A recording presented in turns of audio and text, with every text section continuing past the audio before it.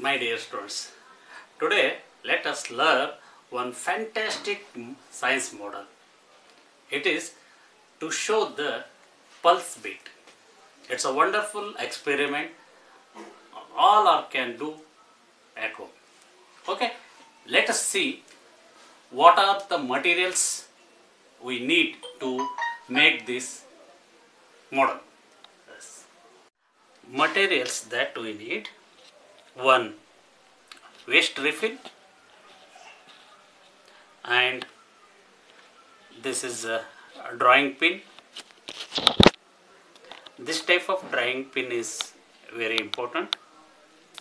And a cutter to cut the waste refill let us take 3 centimeter of this waste refill and let us cut here.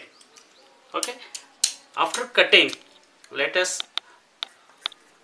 put to the this drawing pin. So we can hold like this. After putting this refill in the drawing pin let us hold this in our wrist in our wrist so now you can see the beat of pulse.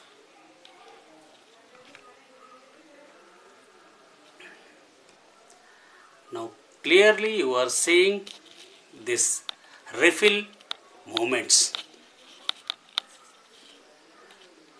by this you can also measure the pulse beats.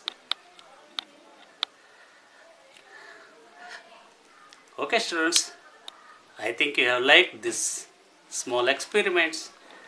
If you like this please like the video and subscribe the video. Thank you